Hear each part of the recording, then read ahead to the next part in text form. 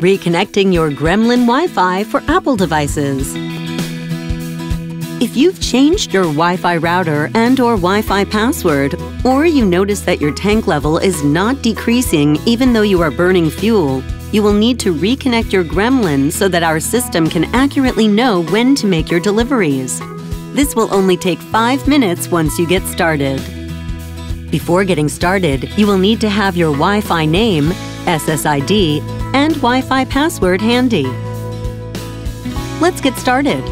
Open and log into your Gremlin app and tap the menu icon on the top left side of your screen.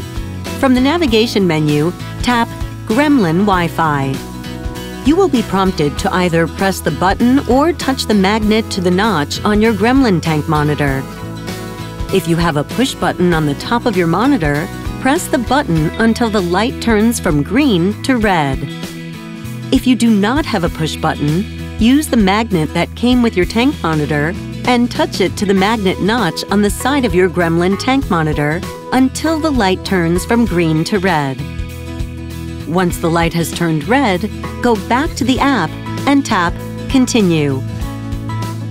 Next, you will be prompted to connect to the Gremlin Wi-Fi network.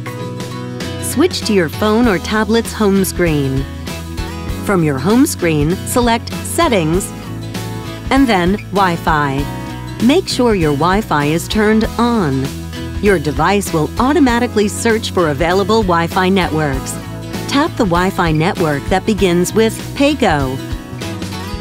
This step can take up to one minute to load.